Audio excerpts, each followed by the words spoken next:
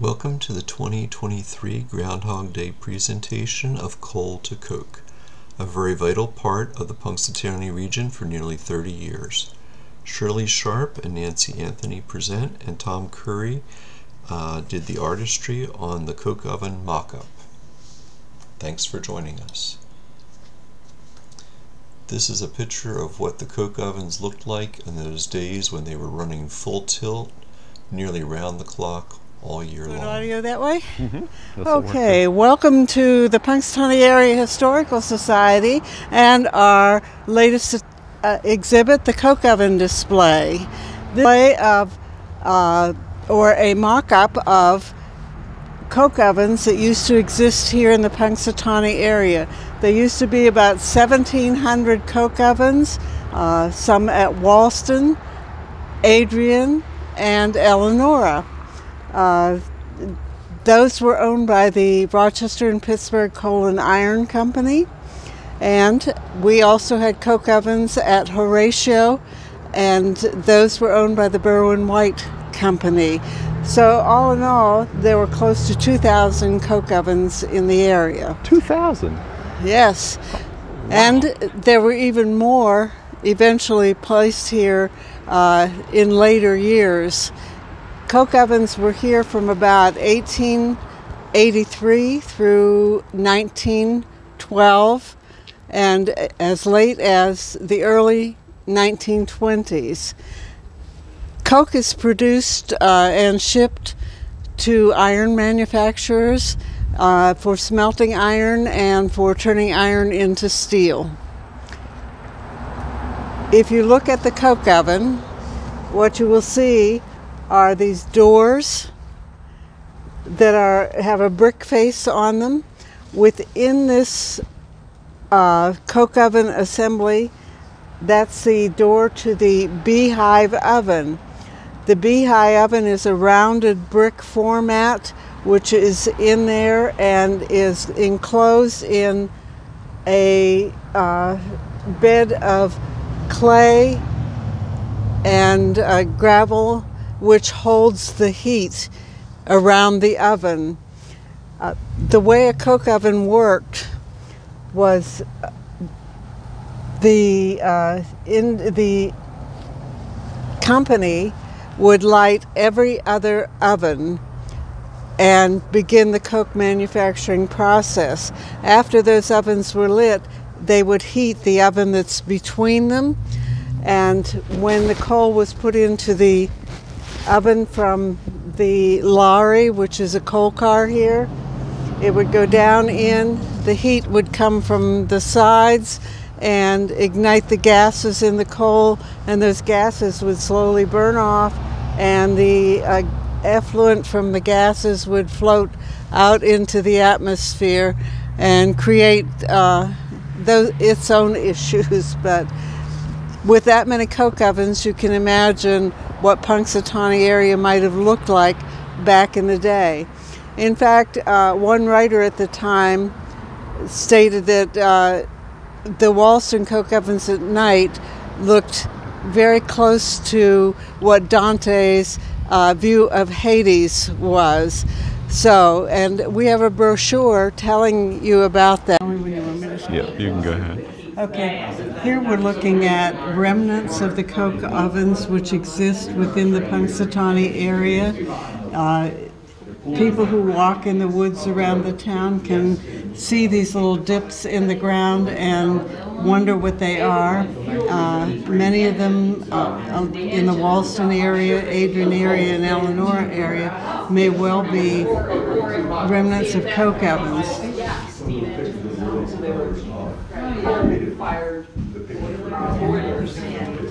This is an example of a deteriorating coke oven where the clay and stone wall have been eroded away and you can see the brick interior where the coke was actually baked.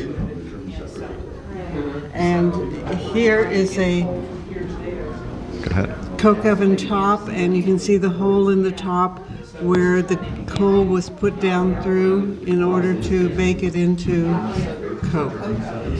When I talk about the size of a the coke ovens, you can see how huge they were. The model outside was about one third the size. In in this picture, the artist has rendered it, and if you look up on top, there is the. Uh, in this case, a donkey pulling the wagon or a mule pulling the Larry across that is there to fill the ovens. And down below, the men are doing what they call pulling the oven, pulling the baked coke out of the oven, and they will. Before they pull it, they dumped water in to cool it so they could work on it. So it was very important to have good water lines wherever there was a coke oven line. This is the look of the fork they would have used. A huge fork here that was used to help draw the coke from the oven. Okay.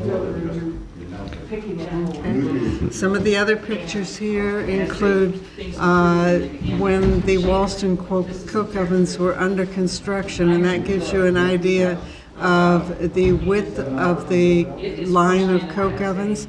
There were coke ovens on both the front and the back side of the wall, and that wall was a mile and a quarter long. It is was famous for being the longest continuous line of coke ovens in the world, and uh, tourists coming to Punxsutawney did not feel like they could go home until they had seen the coke ovens at night. These are And this is what the coke ovens at night look like. it's amazing. Okay? Fire. And in this picture, you can see that the they have completed the beehive ovens and they're working to fill uh, the surrounding area with clay. And down below is just a picture of the crew that worked on constructing them. It looks like they're almost done there. So you can stop by the Punxsutawney Area Historical and Genealogical Society at the Lattimer House and view these pictures yourself.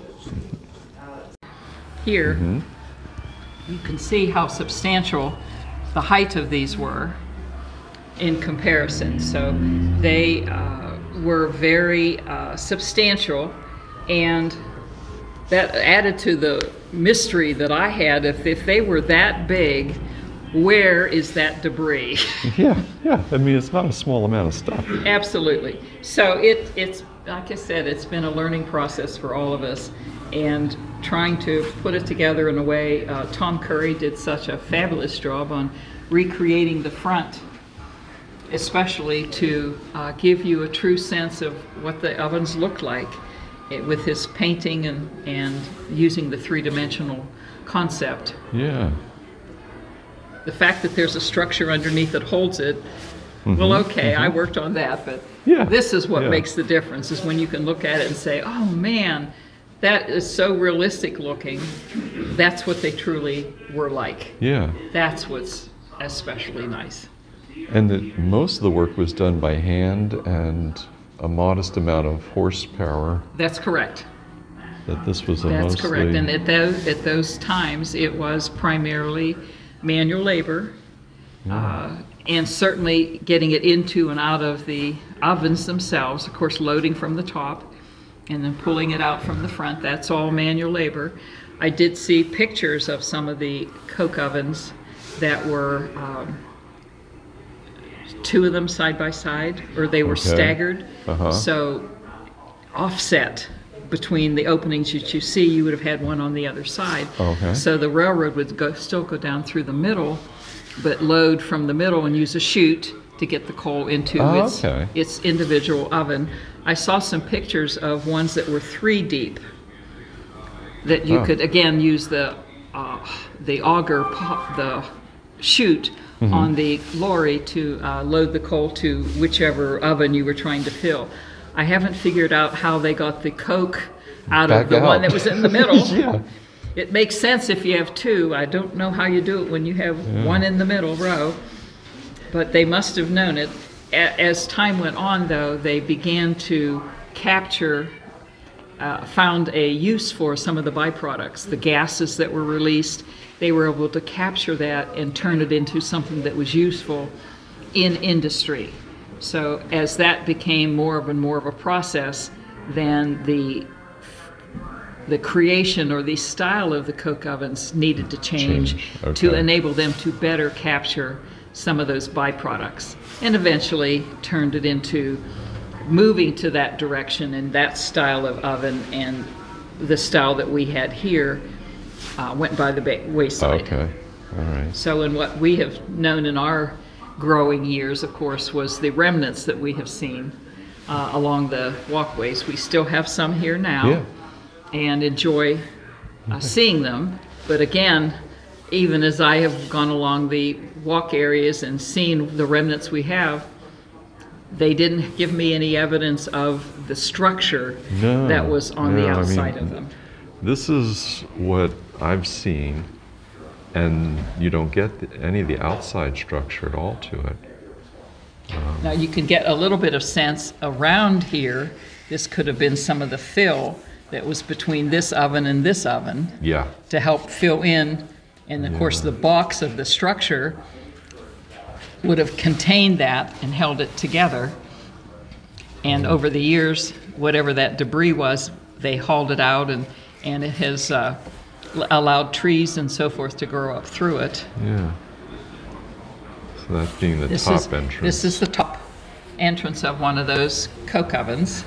Yeah. Very neat. All right. At the front end of the Iron Man would be an auger that uh, would be air driven into the uh, mines to be able to loosen the coal and it could be uh, removed that way. Instead of bending over and breaking your back, this would allow uh, the coal to be loosened and pulled out.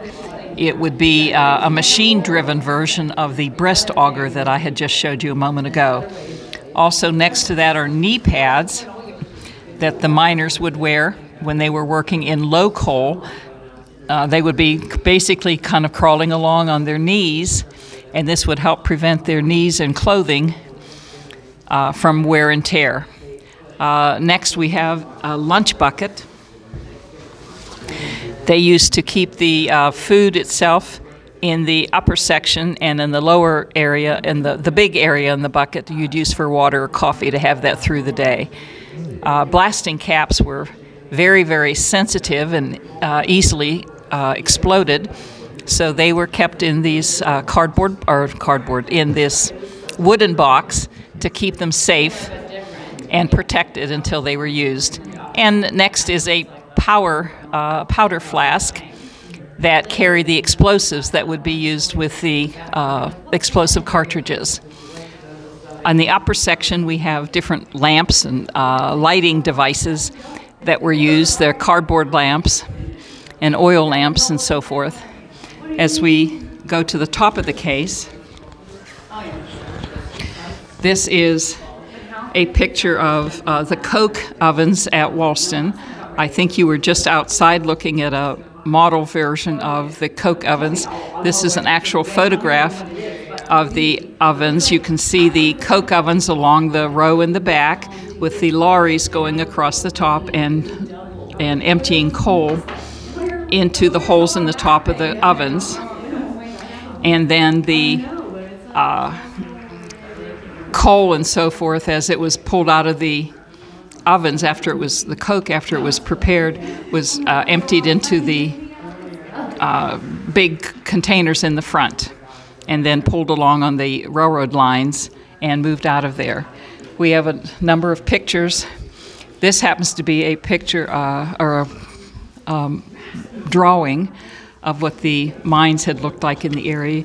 You can see the longest string of coke ovens uh, going here. This is in the area of the uh, cemetery up by by the Columbus mining area, by the uh, country club, and this is the area of the country club itself. And over here is Walston. And again, as you're going along, this is Sawmill Run. This is the the creek that went through that area. And as we down in this area was more into uh, Lindsey, at that time would have been Lindsey, later became a part of Punxsutawney.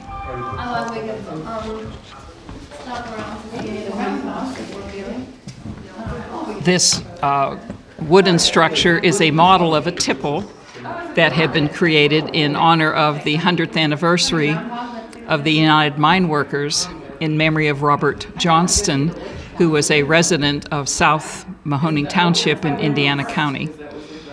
He had passed away in a mine accident at the Sagamore mines. Mr. Johnston happened to be the grandfather of Roger Steele.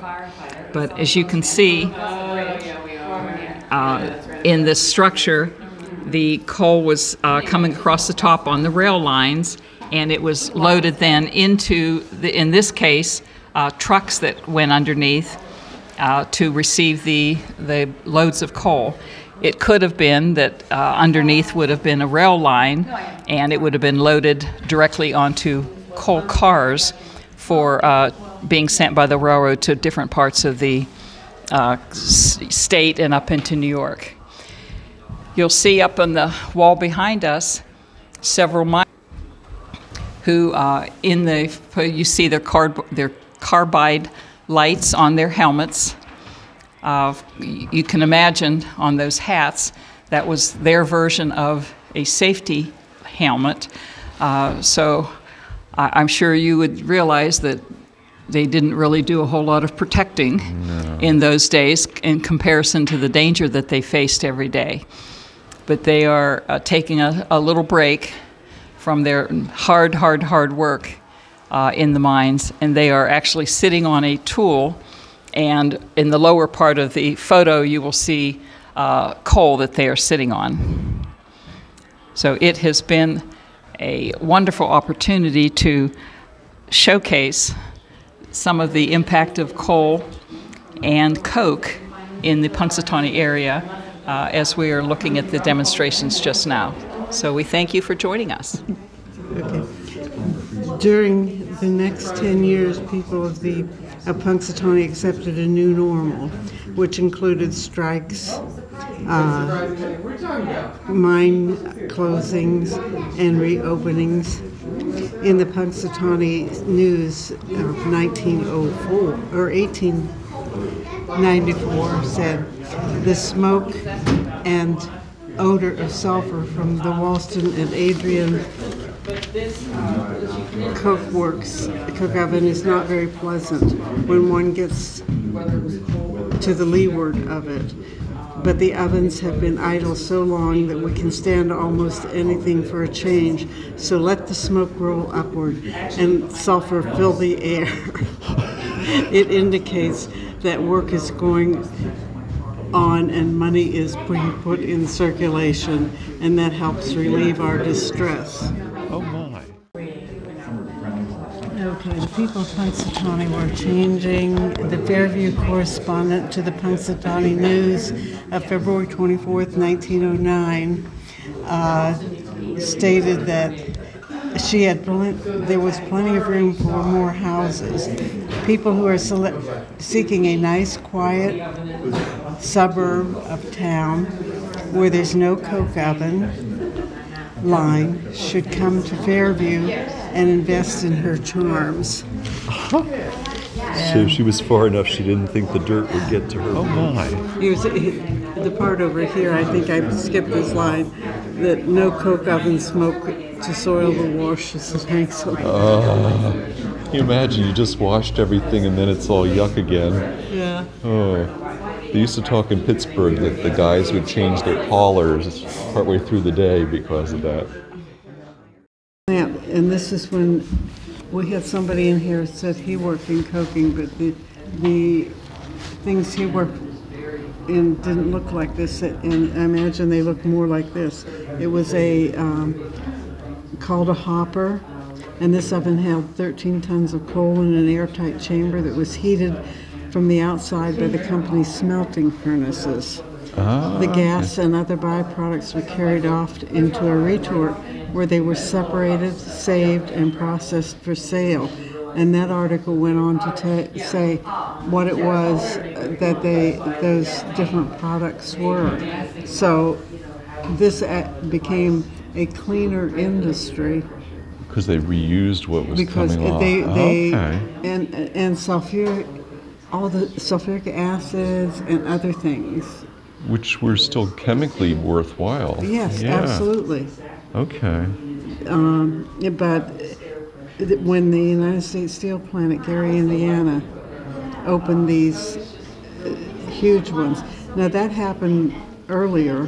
See, this is 1910. This is called the rise That's and fall probably why this version deteriorated. Well, and local pundits uh, talked about the the benefits and the cost of installing those, and uh, by that time, the coal industry was moving down into Ernest, Lucerne Mines, Kawashanik Valley, down that way, and new technology changed.